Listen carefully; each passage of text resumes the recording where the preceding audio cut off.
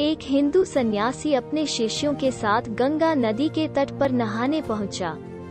वहाँ एक ही परिवार के कुछ लोग अचानक आपस में बात करते करते एक दूसरे पर क्रोधित हो उठे और ज़ोर ज़ोर से चिल्लाने लगे सन्यासी यह देख तुरंत पलटा और अपने शिष्यों से पूछा, क्रोध में लोग एक दूसरे पर चिल्लाते क्यों हैं? शिष्य कुछ देर सोचते रहे, एक ने उत्तर दिया क्योंकि हम क्रोध में शांति खो देते हैं इसलिए। पर जब दूसरा व्यक्ति हमारे सामने ही खड़ा है तो भला उस पर चिल्लाने की क्या ज़रूरत है? जो कहना है वो आप धीमी आवाज़ में भी तो कह सकते हैं, सन्यासी ने पुनः प्रश्न किया। कुछ और शिष्यों ने भी उत्तर देने का प्रयास किया पर बाकी लोग संतुष्ट नहीं हुए।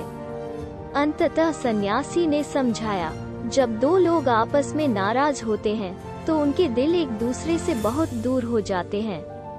और इस अवस्था में वे एक दूसरे को बिना चिल्लाए नहीं सुन सकते। वे जितना अधिक क्रोधित होंगे, उनके बीच की दूरी उतनी ही अधिक हो जाएगी और उन्हें उतनी ही तेज़ी से चिल्लाना पड़ेगा। क्या होता है जब दो लोग प्रेम में होते हैं, तब वे चिल्लाते नहीं, बल्कि धीरे धीरे बात करते हैं, क्योंकि उनके दिल करीब होते हैं। उनके बीच की दूरी नाम मात्र की रह जाती है। सन्यासी ने बोलना जारी रखा, और जब वे एक दूसरे को हद से भी अधिक चाहने लगते हैं तो क्या होता है? तब वे बोलते भी नहीं। वे सिर्फ़ एक दूसरे की तरफ़ देखते हैं और सामने वाले की बात समझ जाते हैं।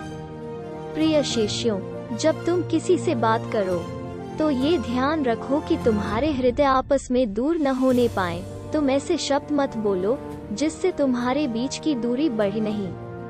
तो एक समय ऐसा आएगा कि ये दूरी इतनी अधिक बढ़ जाएगी कि तुम्हें लौटने का रास्ता भी नहीं मिलेगा। इसलिए चर्चा करो, बात करो, लेकिन चिल्लाओ मत।